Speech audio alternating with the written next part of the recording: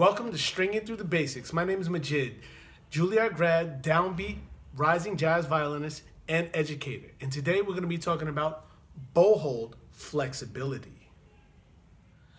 Bow hold flexibility is very important to creating a soft, complex sound, as well as a sound that's flexible enough to allow advanced skills to be executed on your violin.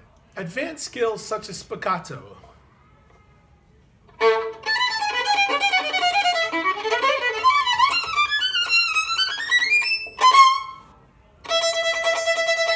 and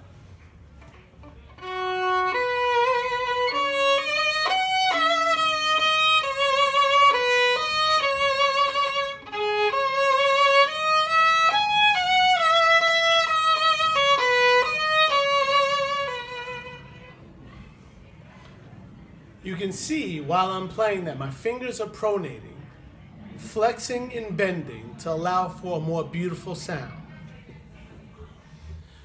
From one of my videos earlier, the bow hold, we start with that. The most important part, round thumb, middle finger touching silver, close friends, first finger touching uh, the grip, and pinky lightly on top is the round thumb part of it.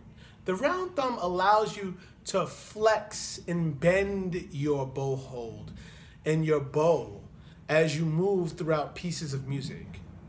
Just on your A, going down bow and up bow. When you're changing your bow stroke, you want to do something that we call Washing the frog. Washing the frog. Washing the frog involves flexing fingers without moving the wrist.